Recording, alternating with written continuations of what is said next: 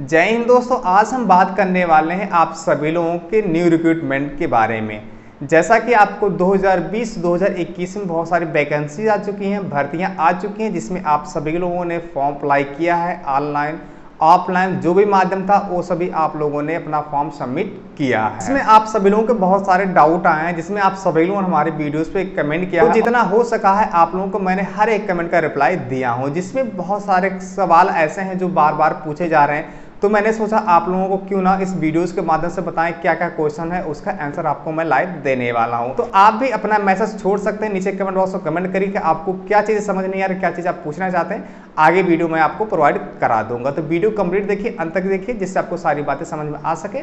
आप please video को पूरा ज़रूर देखिए हो सकता है कि आपका भी कमेंट यही रहा हो। चलिए, पहला कमेंट आप लोगों का लेते हैं। तो हम पहला कमेंट लेते हैं, और उन्होंने अपना नाम लिख रखा है एन वाई जो कि S S C G D दो के वैकेंसीज पे इन्होंने अपना एक मैसेज छोड़ा। इन्होंने लिखा है कि, सर प्लीज़ रिप्लाई में मेरी पोस्ट प्रेफरेंस रॉन्ग हो गई है मॉडिफाई हो सकता है या नहीं? तो मैं आपको बता दूँ कि अब आप अपना फॉर्म मॉडिफाई नहीं कर सकते हैं, क्योंकि जब अप्लाई हो जाता है तो मॉडिफाई का ऑप्शन नहीं आता है। लेकिन परेशान होने की बात नहीं है फिर से आपका लिंक एक्टिवेट होगा, क्योंकि आपने देखा होगा कि C R P N I S S B female की पोस्ट नहीं है तो फिर से लिंक एक्टिवेट होगा तो वहाँ पर अपना प्रेफरेंस दे सकते हैं। तो हम दूसरा क्वेश्चन लेते हैं, जिसमें शंभुकांत मिश्रा ने कमेंट किया, आसाम राइफल की एक वैकेंसी जो आई है टेक्निकल एंड ट्रेड्समैन की। वहाँ पर इन्होंने कहा कि, सर कलर की वैकेंसीज यूपी में कितनी है? जनरल कैटेगरी की। तो सबसे पहले मैं आपको बता दूँ कि अभी जो आपका नोटिफिकेशन आया है, वो आपका केवल टोटल पोस्ट अप्लाई का डेट है और उसमें कुल कितने पोस्ट आ रहे हैं इसका विवरण दिया हुआ है। तो मैं आपको बता दूँ कि आप सभी लोगों का फुल नोटिफिकेशन नहीं है। 11 सितंबर 2021 को आपका फुल नोटिफिकेशन आएगा। वहाँ पर आपका पूरा विवरण दे दिया जाएगा किस शिफ्ट में कितनी वैकेंसी देखने को मिले। तो प्लीज़ आप वेट करो 11 सितंबर 2021 को। तीसरा क्वेश्चन लेते हैं, जिनका नाम करण सिंह है और एसएससी जीडी पे इन्होंने मैसेज किया है और इन्होंने कहा कि एसएससी जीडी की वैकेंसीज इंक्रीज होगा क्या? तो मैं आपको बता दूँ कि आप सभी लोगों के जो वैकेंसीज इंक्रीज किया जाएगा, अब कितना इंक्रीज होगा इसको अभी कहना मुश्किल है, लेकिन आपकी जो वैकेंसीज है इंक्रीज होगी। तो हम चौथा क्वेश्चन लेते हैं, इनका नाम है ड्रीम इलेवन फैंसिटी करके हैं। आसाम राइफल में उन्होंने कमेंट किया, इन्होंने कहा कि, सर, इसके लिए आसाम जाना पड़ेगा क्या? मैं वेस्ट बंगाल से हूँ। तो मैं आपको बता दूँ, इसके लिए आप सभी लोग को नॉर्थ ईस्ट का सेंटर बनाया जाता है, जिसमें आपको वहाँ पर आसाम में जाने होते हैं। आप किसी भी स्टेट से हैं, सभी लोगों को वहाँ पर आपका फ़िज़िकल रिटर्न सब कुछ वहीं पर होने वाला है। तो हम पांचवा क्वेश्चन लेते हैं, और उनका नाम है शंभु घोष, जो कि, सर, मैं ओबीसी से हूँ, आसाम राइफल क्लर्क में कितनी हाइट है। तो मैं आपको सबसे पहले बता दूँ कि आपकी जो हाइट ओबीसी वालों की है, वो आपका एक सौ पैंसठ सेंटीमीटर होनी चाहिए। जो केवल एसटी कैंडिडेट है, उनका एक सौ पाँच सेंटीमीटर जो अदर कैटेगरिया जितनी भी हैं, उनकी एक सौ पैंसठ सेंटीमीटर मांगी जा रही है। तो हम छठा क्वेश्चन लेते हैं, जिसमें कार्तिक आशीष ने मैसेज किया है, मैं फ़र्स्ट प्रेफरेंस सी को दिया हूँ बट मुझे अब आसाम पसंद है। इसमें लास्ट प्रेफरेंस डाला हूँ, क्या मुझे आसाम राइफल अलॉट होगा?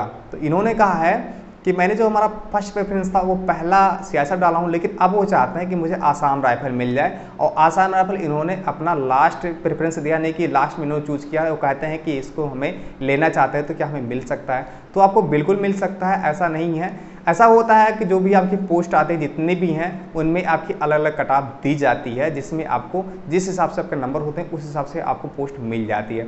लेकिन होता क्या है कि जब हम पहला प्रेफरेंस देते हैं या जब हमारा नंबर आता है तो हमें वो पोस्ट दे दिया जाता है। इसलिए ये चीज़ें हो तो यदि आपने पहला प्रेफरेंस आसान राइफल नहीं डाला है तो परेशान होने वाली बात नहीं है। आपको फिर से मौका दिया जाएगा प्रेफरेंस करने का तो वहाँ पर अपना फिर से आप प्रेफरेंस आसाम राइफल पहला दे दीजिएगा। तो हम सातवां क्वेश्चन लेते हैं जिसमें धनंजय आर्यज ने मैसेज किया कि निगेटिव मार्किंग है या नहीं है। आसाम राइफल जो वैकेंसीज आपकी आ रही है ग्यारह सितंबर से इन्होंने कहा कि निगेटिव मार्किंग है या नहीं है। तो मैं आपको बता दूँ इसमें निगेटिव मार्किंग नहीं रखी गई है।